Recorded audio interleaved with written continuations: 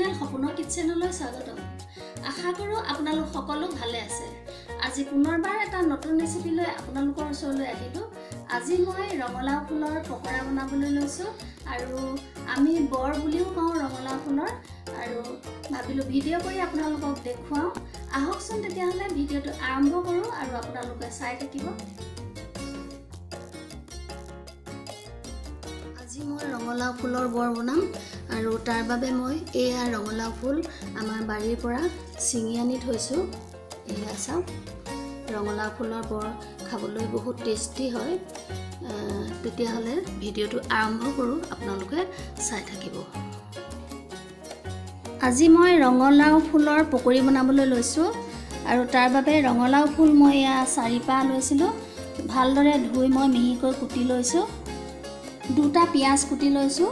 কেইটামান নৰসিংহ পাত লৈছোঁ কচৰি মেথি অকণমান লৈছোঁ বেকিং পাউডাৰ অকণমান লৈছোঁ জলকীয়া এটা মিহিকৈ কুটি লৈছোঁ আদা আৰু নহৰু মিহিকৈ কুটি লৈছোঁ নিমখ হালধি মই প্ৰয়োজন অনুসাৰে ব্যৱহাৰ কৰিম আৰু মই লৈছোঁ বেচন আৰু লৈছোঁ চুজি এয়াও মই প্ৰয়োজন অনুসাৰে ব্যৱহাৰ কৰিম আৰু লগত লৈছোঁ মই ৰিফাইন তেল।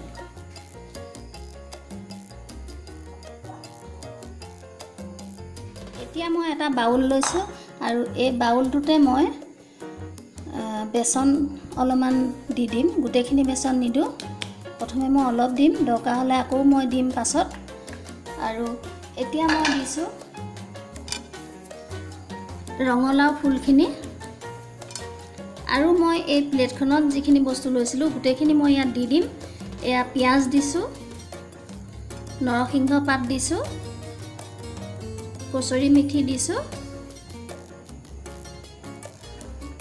আদা আৰু নহৰু দিছোঁ মিহিকৈ কুটি লোৱা। জলকীয়া এটা কুটি লৈছিলোঁ এয়া দিছোঁ। আৰু মই এই সৰু চামুচখনত এচামুচ বেকিং পাউডাৰ দিছোঁ।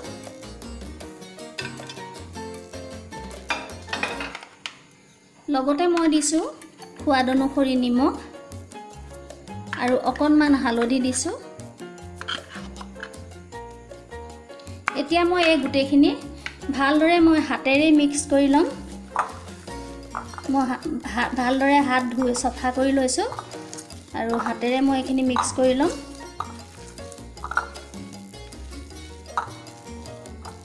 এতিয়া মই বাকী থকা বেচনখিনিও ইয়াতে দি দিছোঁ আৰু লগতে মই এয়া সৰু কাপটোত মই চুজি একাপ লৈছিলোঁ এইখিনিও দি দিছোঁ আৰু এতিয়া ভালদৰে পুনৰ হাতেৰে মিক্স কৰিছোঁ। আৰু মই ইয়াত প্ৰয়োজন অনুসাৰে পানী ব্যৱহাৰ কৰিম।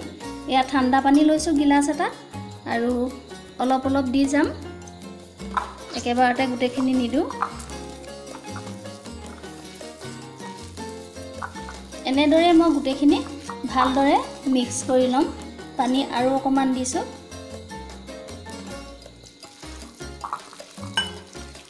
এয়া মই ৰঙালাও ফুলৰ লগত মিক্সাৰখিনি দি এনেদৰে এটা বেটাৰ বনাই ল'লোঁ। এয়া। এতিয়া মই কেৰাহী এখন গৰম কৰি লৈছোঁ এয়া গেছটো অন কৰি। আৰু কেৰাহীখন গৰম হৈছে এতিয়া মই ইয়াতে ৰিফাইন তেল দিছোঁ। তেল অলপ সৰহকৈ দিব লাগিব।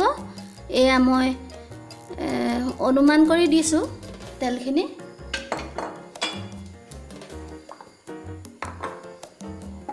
তেলখিনি গৰম হ'বলৈ দিছোঁ। তেলখিনি গৰম হৈছে এতিয়া মই হাতেৰে এটা এটাকৈ পকৰীখিনি দি যাম।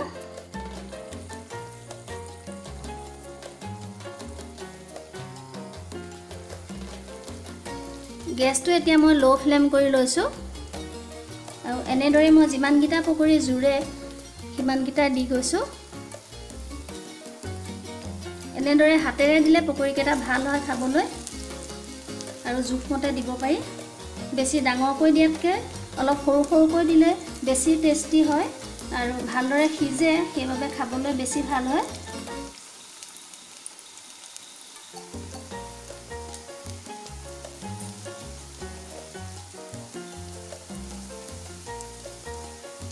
এয়া মই এইকেইটা পকৰী এবাৰত দি লৈছোঁ। এয়া মোৰ পকৰীকেইটা তলফালে সিজি আহিছে সেইবাবে মই এতিয়া এটা এটাকৈ লটিয়াই দিম।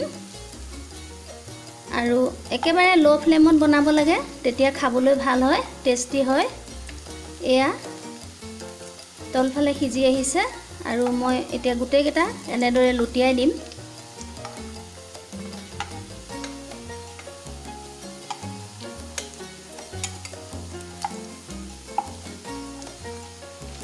এয়া মোৰ ৰঙালাও ফুলৰ পকৰিকেইটা। হৈ গ'ল। ভালদৰে সিজিলে। এয়া কালাৰটো সুন্দৰ হৈছে। এতিয়া মই এটা এটাকৈ প্লেট এখনলৈ উঠাই ল'ম। আৰু এই ৰঙালাও ফুলৰ পকৰিকেইটাক আমি ৰঙালাও ফুলৰ বৰ বুলিও কওঁ। আৰু মই এতিয়া এইখিনি গোটেইখিনি মই কাঢ়ি লৈছোঁ।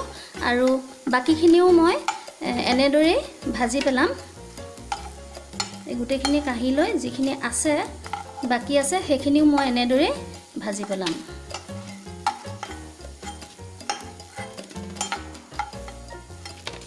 এয়া চাওক এইখিনি মই এনেদৰে প্লেট এখনলৈ উঠাই ল'লোঁ।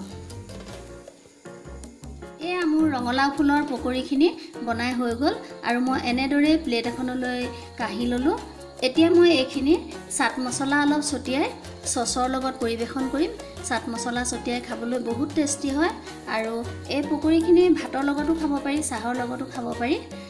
আপোনালোকে বনাই চাবচোন কেনে হয় কমেণ্ট কৰি জনাবলৈ নাপাহৰিব।